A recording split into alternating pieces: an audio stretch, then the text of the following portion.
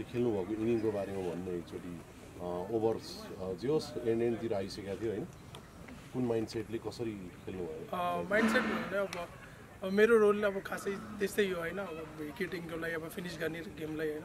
अब तिन ओभर बाँकी थियो होइन। त्यही सोचेर कसरी अब एक बल एउटा बााउन्ड्री चाहिँ फर्स्ट लिन्छु।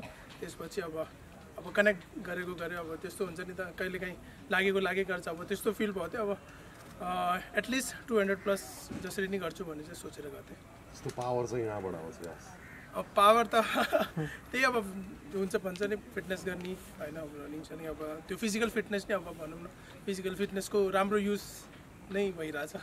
आज एकदम क्लोज हुनुहुन्थ्यो एउटा वर्ल्ड रेकर्डको इक्वल गर्नमा होइन? हजुर। बाह्र बलमा सेन्चुरी हानेको भए वर्ल्ड रेकर्डै इक्वल हुन्थ्यो होइन? त्यो मिस गर्दाखेरि चाहिँ अलिकति कस्तो फिल भयो आफूलाई? मिस भन्दा पनि अब जहिलेसम्म खेलिन्छ अब चान्सेस पाइरहेको छ होइन। अब आज मिस भयो अब होप फ्युचरमा लाग्छ होला कि। अब त्यस्तो नराम्रो फिल चाहिँ केही भएको छैन अब राम्रै भयो होइन। लागेको भए अझै राम्रो हुन्थ्यो। त्यही अब थिङ्किङ त्यही हो। त्यो ग्राउन्डमा चाहिँ तपाईँ त्यो लास्ट एउटा एउटा सर्ट बाजी भन्दाखेरि भनौँ न एउटा चक्का भयो तपाईँलाई त्यो रेकर्डको बारेमा थाहा थियो अनि त्यो थाहा नहुँदा अब कस्तो बाहिरबाट भनिरहेको थियो अब होइन अझै एउटा छक्का अझै एउटा छक्का। अब त्यो फिल पनि चाहिँ भइसक्यो थियो कि अब एट तिनीहरूले अब एटलिस्ट रिकर्डको लागि केही नै भनिरह होला भनेर। अब हान्छु भनेर त अब सोचेकै थिएँ अब बल चाहिँ राम्रै पऱ्यो। करण केसी एक्ज्याक्टली अब सबै अब भनौँ न अब नेपालले एकदमै धेरै एक्सपेक्टेसन राखेको हिटरमा पनि पर्नुहुन्छ होइन?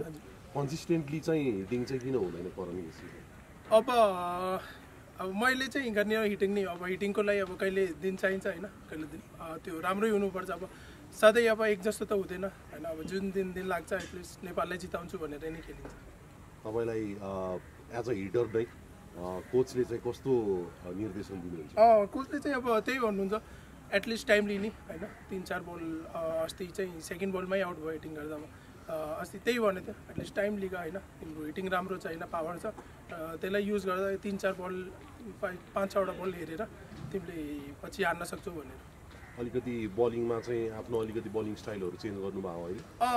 अहिले अब भनौँ न त्यो इन्जुरीबाट आएको होइन। इन्जुरीबाट त्यो बलिङमा त्यो भन्छ नि कन्फिडेन्स चाहिँ छ होइन तर त्यो त्यस्तो भइरहेको छैन। पहिला जस्तो आई थिङ्क त्यो रनिङ गर्दा होइन त्यो अहिले चाहिँ आएको छैन। स्टिल पेन हुन्छ होइन? त्यो पनि अब अब त्यस्तो पेन चाहिँ होइन। अब त्यो डक्टरले चाहिँ अब त्यो खेल्दा खेल्दै नै जानियो अब त्यो त्यो भनेर त्यो फुल कन्फिडेन्स चाहिँ आएको छैन।